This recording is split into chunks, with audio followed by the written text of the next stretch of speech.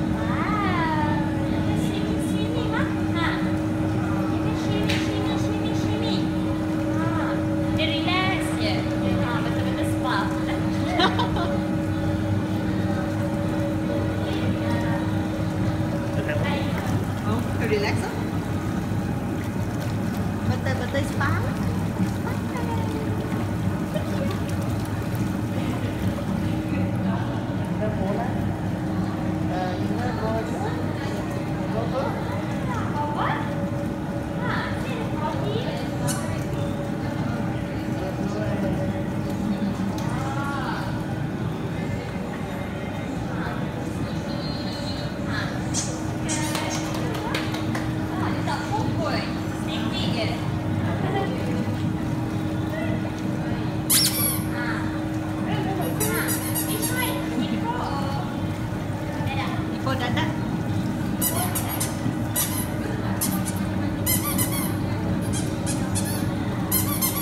không còn không biết thấy biết con